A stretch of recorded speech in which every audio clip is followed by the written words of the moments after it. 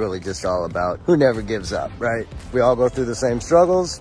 It's all about who's going to get through the adversity faster, right? But some people just don't get through the adversity. They give up. That's all it is. It's just, you know, every piece of adversity is another opportunity to learn and, and get better. And, and when you fix the problem, you come back stronger and wiser. Time to go home.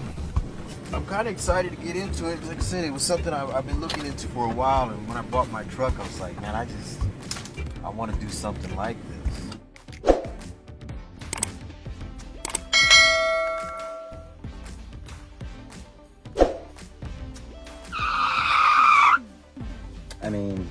if everybody wants to take off on Sunday, why don't you just take off on Monday and then get all of the work on Sunday?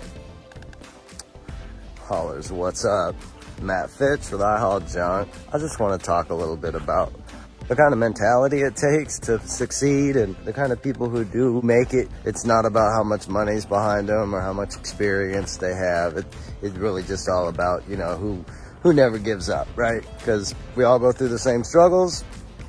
It's all about who's going to get through the adversity faster, right? And, you know, some people just don't get through the adversity. They give up instead of learning from the experience and, and becoming a better person after fixing the problem, whatever it is that's slowing them down. Because uh, that, that's, that's all it is. It's just, you know, every piece of adversity is another opportunity to learn and, and get better. And, and when you fix the problem, you come back stronger and wiser. So, and it, the people who can go into it with the right mentality and they're able to keep a positive attitude and just never quit, man, you got to be willing to work every goddamn day, dude. Seven days a week. I don't care what time of the day it is. I don't care if you just did a 10 hour day and, you know, you're on your way home, you maybe you live 45 minutes outside of the city and you just did a just did like a 15 hour day. And you get someone who wants a job an hour away. And it's a little job. It's like a mattress or two. Dude go fucking do the job.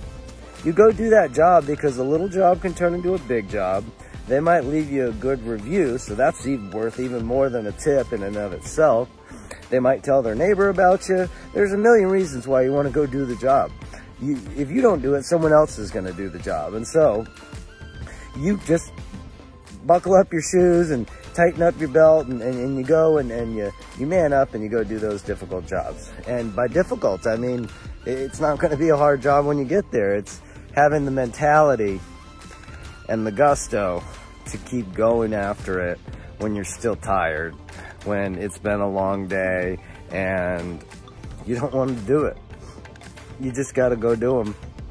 And then when you get there, you put a big fucking smile on your face and these people are blown away with your positive attitude. They're leaving reviews about how happy you were and, you know, how wonderful the experience was. And, and when you get in the truck, if you got a punch to the dash and uh, get home and drink a beer, whatever you got to do to wind down, that's fine. But in front of the customer, man, it's, it's always a great day.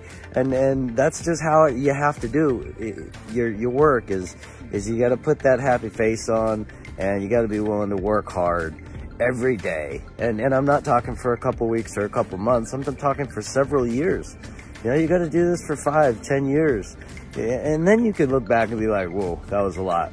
Look at how far I've come, though. You know, and, but this, this instant gratification mentality of thinking that you're going to get out here and within a couple months you're going to be making, you know, 10, 20, $30,000 a month, man, that's not going to happen. There's a couple guys out here that are hitting licks every once in a while and it, but for the most part, it, it just takes repetition and, uh, you know, consistency and professionalism. And, and those are the kinds of things that are going to get you referrals and repeat business and, and, uh, your mentality is what drives the whole thing. So, man, if you just never give up, the game's not over. So just keep getting after it. And after a couple of years, take a look back and see how you're doing and, and then and put your head down again and, and, go hard for a few more years and then and then take a break and, and look back and and reward yourself for your progress and and then put your damn head down and double down and do it for another five years and, and then look up and think, all right, I can do this for 20 more years. And that's how we get it done.